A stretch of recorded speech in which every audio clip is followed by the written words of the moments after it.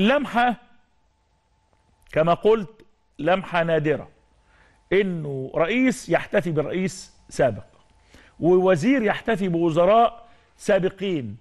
وأيضا وجدنا تكريما آه، من الرئيس عبد الفتاح السيسي للرئيس آه، السابق عدلي منصور وكان بيصحبه في هذه هذه الخطوات التي رأيناها اليوم. وفي الحقيقة يعني أنا شاركت اليوم في هذا الافتتاح وكانت الفرحة غامرة لدى الجميع.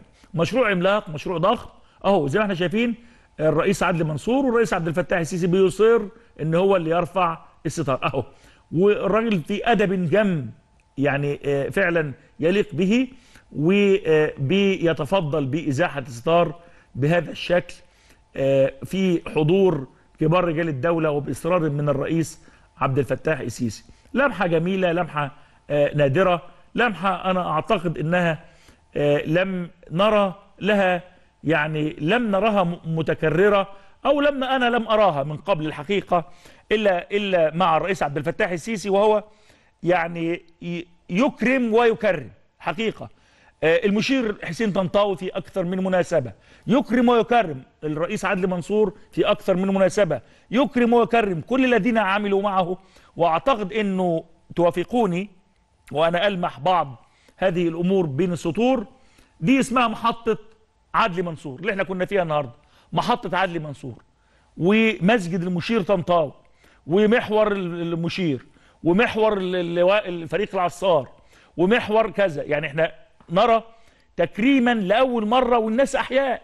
إحنا كنا بنتكلم بنقول هو إحنا حرام علينا نكرم الناس وهم أحياء.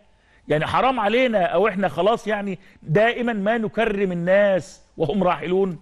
نكرمهم بعدما يرحلوا.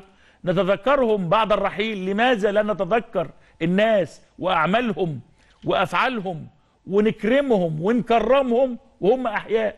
ليه نحرم آه، القادة ونحرم الناس اللي اشتغلت عايزين نترك لل- للأجيال القادمة صورة ذهنية طيبة إنه اللي يشتغل هيكرم واللي يشتغل آه، هيتم يعني ذكره بكل خير. كنا نفتقد هذا ونفتقر إلى هذا.